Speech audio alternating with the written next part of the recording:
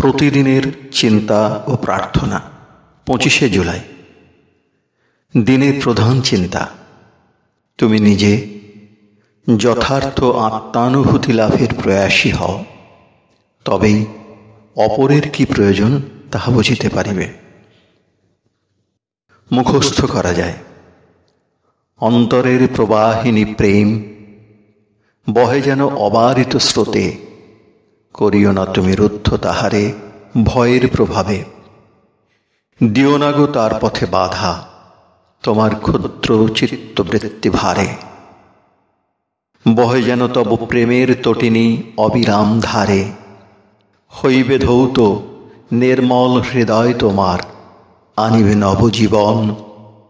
দিবে সে তোমারে মুক্তি পরশ উপদেশ। অন্তরের অনুভূতিপ্রসূত দৃষ্টিতে উদ্বুদ্ধ হইয়া, যদি তুমি সকল কাজ করিয়া যাও, তবে কাহারও কাছে তোমাকে শিখিতে হইবে না। কি তোমার করা দরকার এবং তোমার সেবাতেও কোনো ত্রুটি হইবে না।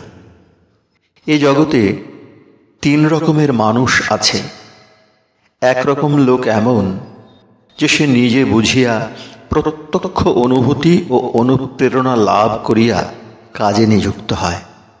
আর এক রকম আছে, যাহাদের একবার মাত্র বলিতে বা সংশোধন করিতে হয়। তাহারা কখনো ভুলিয়া যায় না।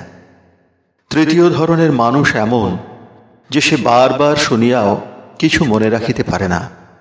তুমি হইবে তাহাদের মতো, যাহারা উন্নত প্রথম শ্রেণির লোক। প্রার্থনা। প্রেমময় দেবতা যিনি, তিনি যেন আমাকে অধিকতর সদ্বুদ্ধি দান করেন।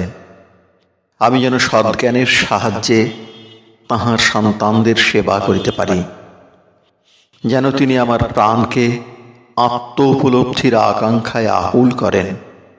আমার জীবন এবং সকল কর্ম যেন তাহারই ভাব প্রকাশ করে, তাহার প্রেম যেন আমার হৃদয়কে পূর্ণ করিয়া রাখে।